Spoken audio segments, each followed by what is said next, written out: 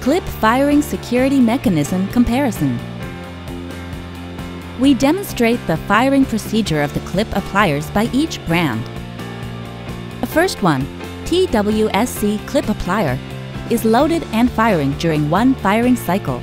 The clip come out following by the trigger movement smoothly. No clip left on the jaw until next firing cycle starts. The second one, brand E clip applier, is loaded and firing smoothly. After one firing cycle finished, a clip pop out to the jaw immediately. The third one, brand C clip applier, required two stage to finish the firing cycle. The first triggering is for loading clip, will pop out to the jaw. Then second triggering is to complete the firing cycle.